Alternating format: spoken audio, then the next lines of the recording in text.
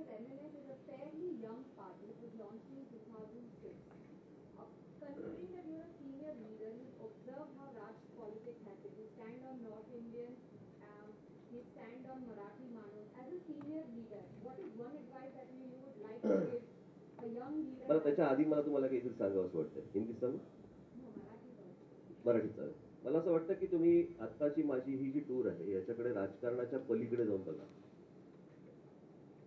मला असं वाटतं मी गुजरातची जी डेव्हलपमेंट आहे मोदी साहेबांच्या मार्गदर्शनाखाली ती पाहण्यासाठी आलो. याचा माझ्या पॉलिसीशी किंवा त्यांच्या पक्षाच्या पॉलिसीशी किंवा त्याचा एनडीए किंवा डीएनए किंवा काय जे काय काढाल तुम्ही असल्या कुठच्याही गोष्टींशी त्याचा संबंध नाहीये. सो मला असं वाटतं याच्यामध्ये तुम्ही राजकारण आणण्यात काही पॉईंट नाहीये. मी जर एका चांगल्या हेतूने मी इथे गुजरातमध्ये आलो आहे आलोय आणि हे हा गुजरात मला जर मोदी साहेब चांगल्या हेतूने जर समजा दाखवत आहेत तर त्याच्यामध्ये राजकारण आणण्यासारखं काही नाहीच Yes, but considering that both of you are into politics, as a senior leader, what is one thing that you would like him to inculcate as a fairly young leader?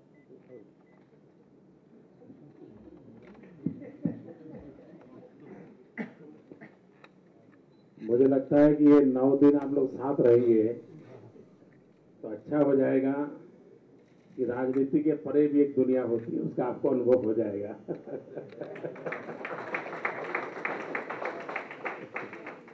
लेकिन एक एक बात मुझे याद है, बहुत पहले कवि सम्मेलन में हमने एक कवि को सुना था। और उसने बड़ा मज़ेदार कहा था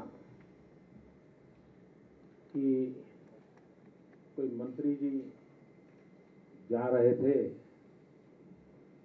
और मंत्री जी ने ड्राइवर को कहा कि आज कार मैं चलाऊँगा। तो ड्राइवर ने कहा, सर, मैं उतर जाऊँगा।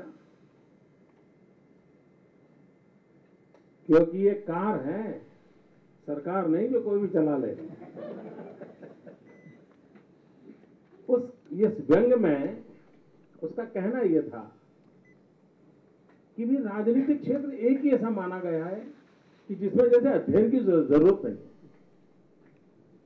मैं मानता हूँ एक अच्छी चीज़ है, इसको एक पॉजिटिव स्पिरिट में लेना चाहिए कि राजनीतिक जीवन में जीने वाले इतनी बड़ी मात्रा में कार्यकर्ता अपने राजनीतिक विचारों के अनटचेबिलिटी को छोड़ करके कहीं कुछ अच्छा हुआ है तो देखने के लिए, समझने के लिए जा रहे हैं। और हिंदुस्तान में ये पॉलिटिकल अनटचेबिलिटी का जो माहौल बनाया जाता है, उससे ऊपर राजनीति से ऊपर राष्ट्रनीति होती है। हम उस पर क्यों ना सोचे? अगर हम ऐसा ही करेंगे तो देश कैसे चलेगा जी? और मैं मानता हूँ कि जैसे मुझे आईएम में पढ़ने के लिए जाने से कोई संकोच नहीं हुआ। मुझे केरल की कम्युनिस्ट गवर्नमेंट के एक अफसर को बुला करके उनके क्या योजना थी उसको समझने में कोई दिक्कत नहीं हुई। तो राज का भी अच्छा विचार है कि भाई, भले ही बीजेपी की सरकार हो, लेकिन अगर गुजरात की आज प्रगति की चर्चा है तो समझना चाहिए, बुरा क्या है? और उसमें भी पड़ोस में है तो ज़्यादा फ़ायदा है। और फ़ायदा है जी। गुजरात के बारे में इंडिया सरकार नरेंद्र मोदी के बारे में तो डे वन इम्प्रेशन देखिए अच्छी इंप्रेशन है, इसलिए आया हूँ। और आज पहला ही दिन है। अगर आप पहले ही दिन इतना पोस्टमार्टम करोगे तो आखिर में क्या बचेगा? मुझे लगता है कि जब मेरे आठ नौ दिन जब कंप्लीट हो जाएँगे, मैं आपके साथ वापस बात करूँगा, वार्तालाप करूँगा, ज़रूर करूँगा। देखिए you must appreciate friends you must appreciate मैं ये मीडिया के लिए, छापने या दिखाने के लिए नहीं कह रहा हूँ। आज देश में कोई नौ दिन निकाल रहा है। और वो भी किसी राज्य की चेक डैम क्या है? अर्बन डेवलपमेंट में क्या हो रहा है? ये ये अपने आप में देश के लिए एक बहुत बड़ी खबर है जी। मैं नहीं जानता हूँ, आप लोग इसको पकड़ पाएँगे कि नहीं पकड़ पाएँगे? आई डोंट नो या आपकी टीआरपी के लिए काम आएगा कि नहीं आएगा आई डोंट नो लेकिन लेकिन सोचना चाहिए कभी कभी कोई नेता दस दिन स्विट्जरलैंड चला जाए और खबर बने तो वो तो टीआरपी के लिए ठीक है। ये दस दिन चला गया, घूम रहा है। लेकिन कोई छोटी छोटी बारीकियों के लिए और अपनी पूरी टीम लेकर के निकले, मित्रों, ये छोटी चीज़ नहीं है जी, सच में बताओ छोटी चीज़ नहीं है। ये ये इसको अप्रिशिएट करना चाहिए, इसको पॉलिटिकल आइडियोलॉजी से मत जोड़िए मत जोड़िए। साहेब तुम्ही नेहमी ब्लूप्रिंट सांगता ब्लूप्रिंट तर हे सगळं बघ तुमच्या जे विजन आहे त्याला अनालिस करून एक ब्लूप्रिंट करायची पण हे एक एफर्ट आहे का तुमचा? मला काय वाटलं मग कशासाठी फिरते.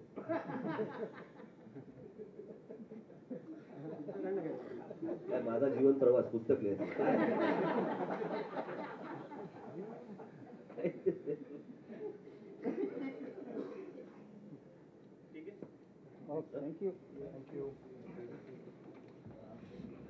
धन्यवाद मित्रों।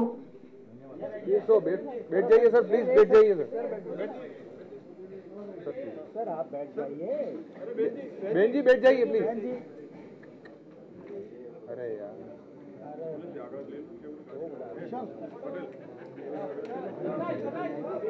विज्युअल घ्या विज्युअल घ्या काय सांगितलं इकडे यार।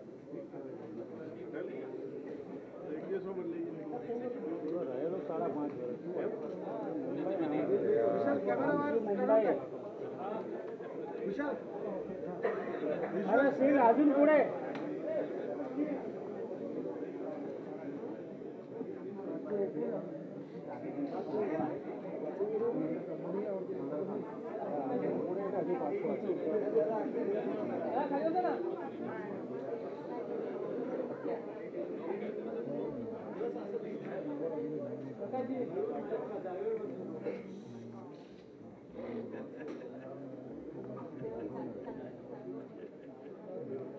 स्टील पुढे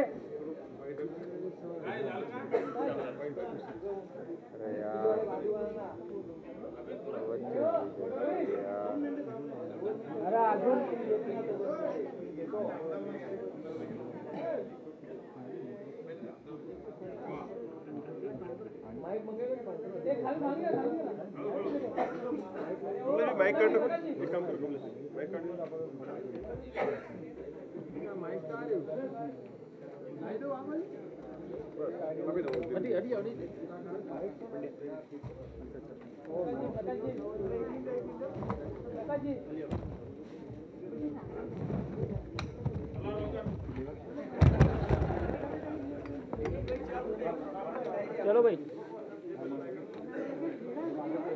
बंद नहीं करो लाइट गले में नहीं ना लगे ना बाइक